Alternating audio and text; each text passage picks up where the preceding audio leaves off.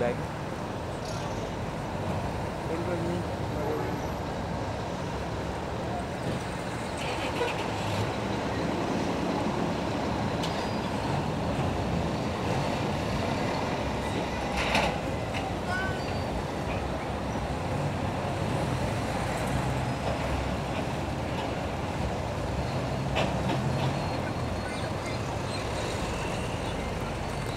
Tira tudo aí fora Tá tira tudo aí fora Pra